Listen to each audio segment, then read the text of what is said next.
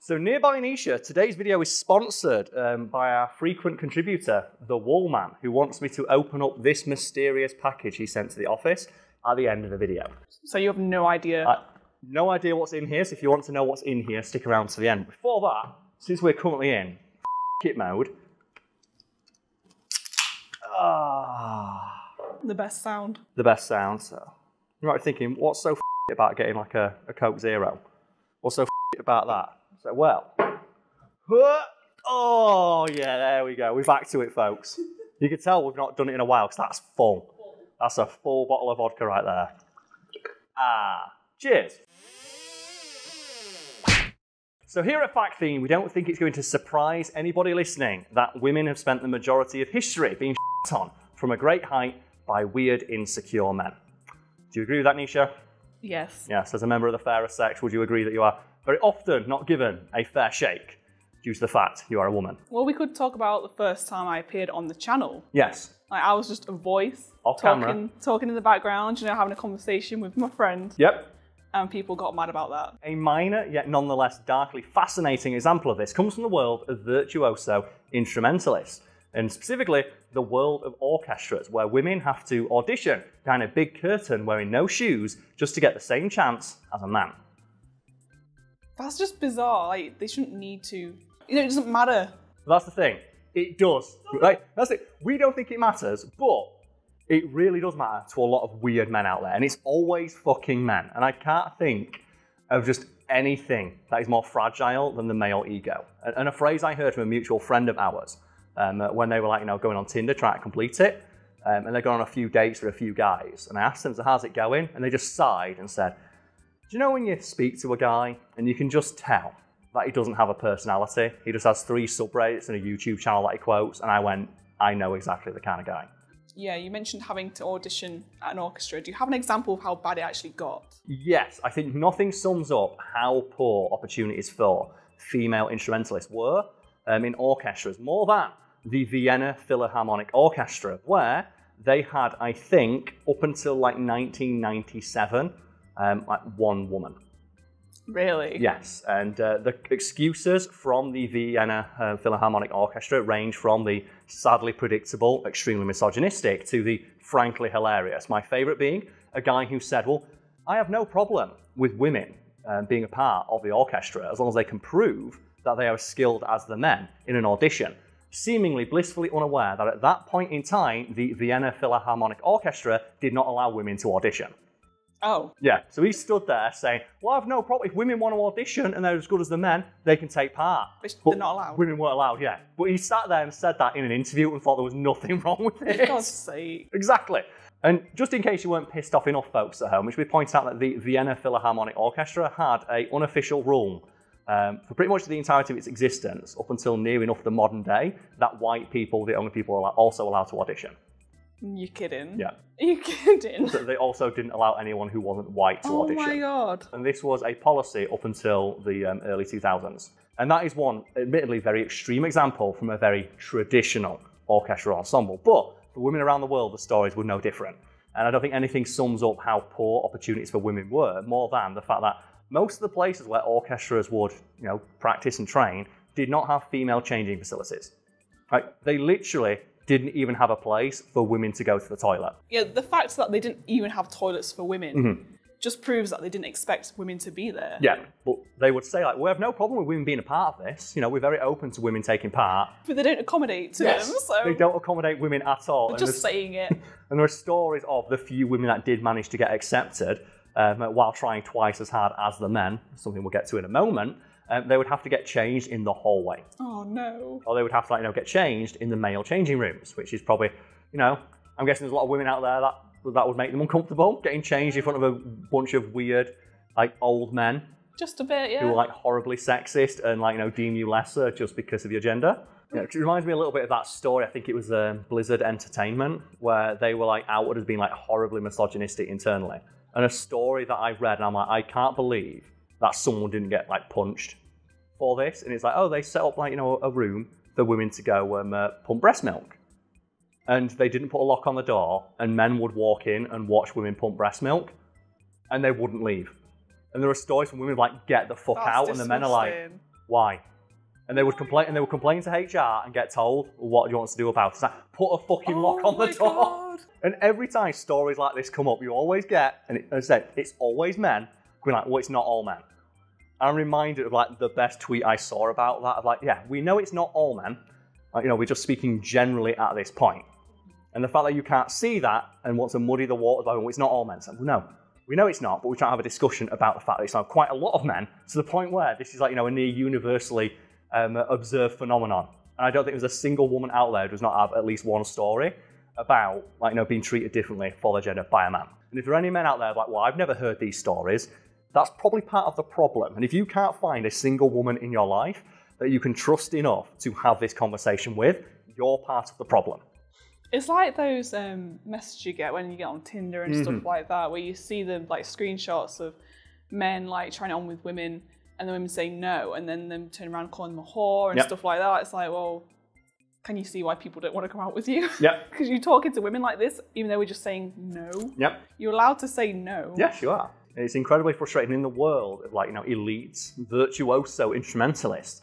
It was a real rough time for women for many years. And the only real position they were ever allowed to audition for was harpist. Because harpist was traditionally seen as a woman's instrument.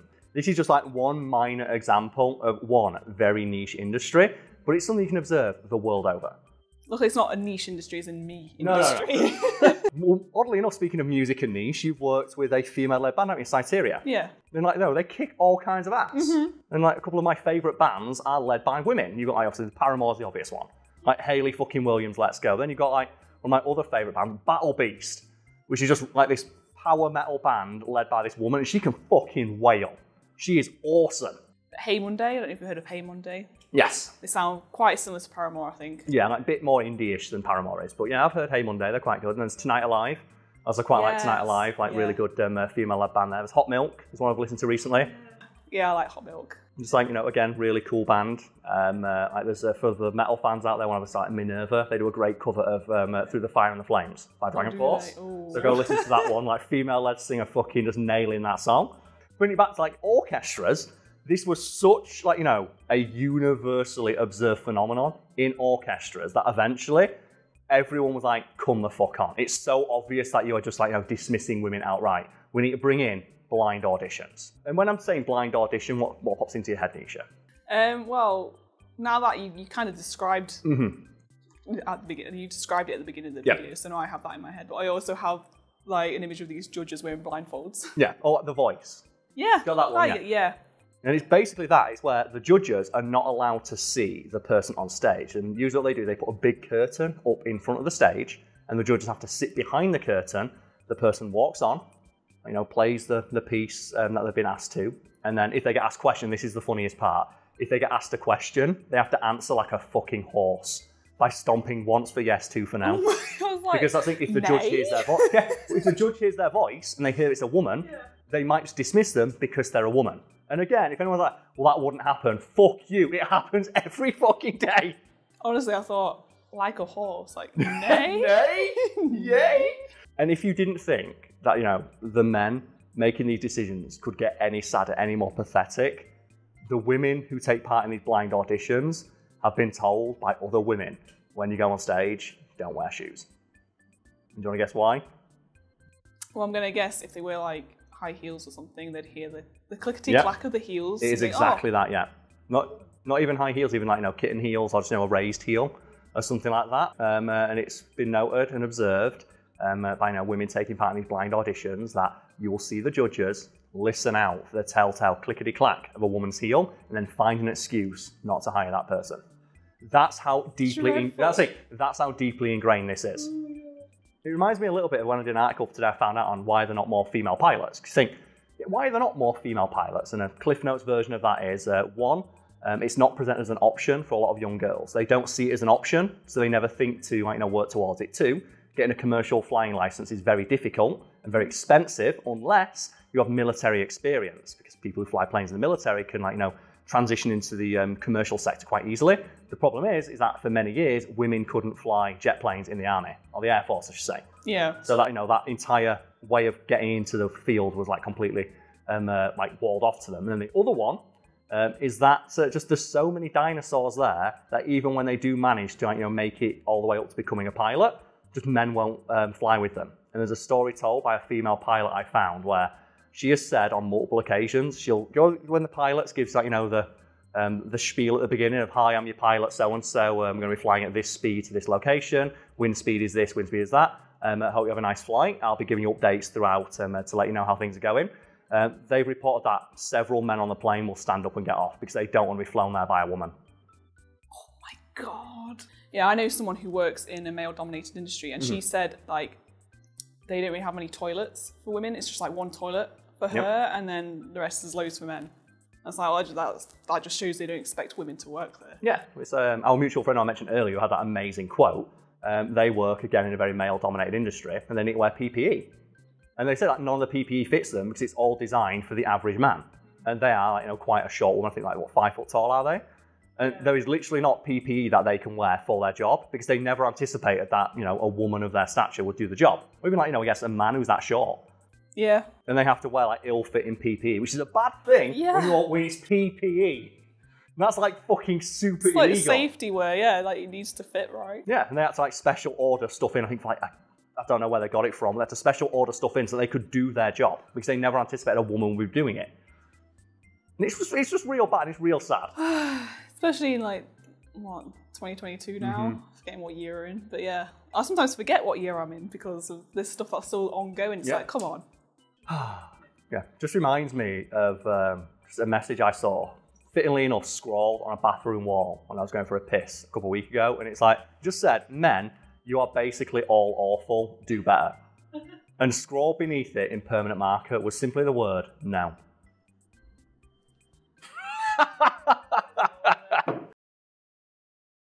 So, nearby Nisha, today's video has been sponsored by our frequent channel contributor, Jon, aka the Wool Man. And he sent through this. I'm very intrigued. I'm very intrigued also. Apparently, this is the poster people will get if they order or have ordered the Lady's Choice card game that's been mentioned on the channel a few times before. A copy of which we have. Do you mind just grabbing the one behind you? It's on top of the, uh, the cupboard there. So we'll wait for you to get back so we can show that off as well.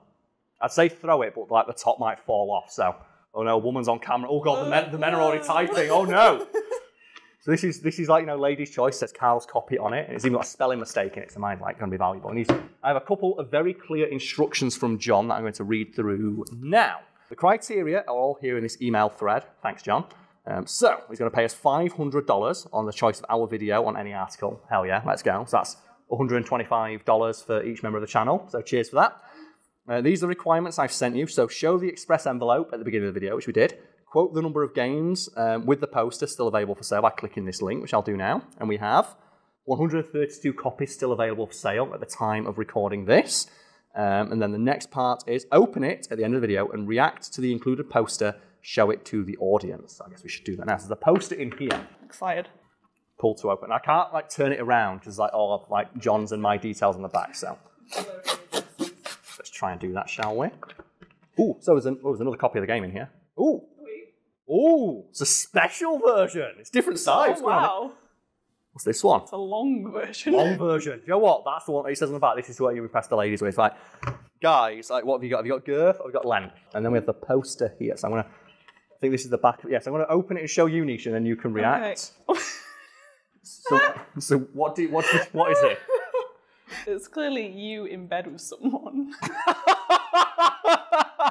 Karl sitting there with Richard Branson in bed, staring at a picture of Rashid, thinking of what could have been. oh, is this when we played the game? Oh, so he got the artist to make that. so that's from uh, the playthrough we did, I think a year ago now, didn't we?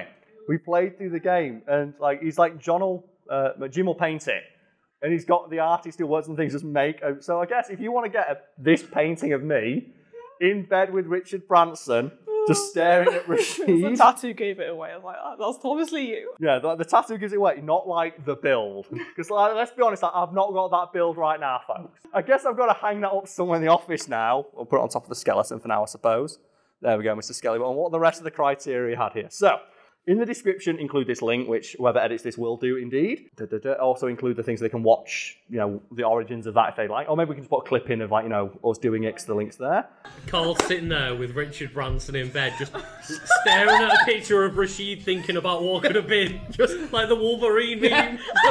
oh my god. Just Wolverine looking at Akuma's assist. He's like, oh no. Um, he says here that everyone waiting on a copy with the poster should receive it late August. Um, so that's around the time this video should go out if all things go well.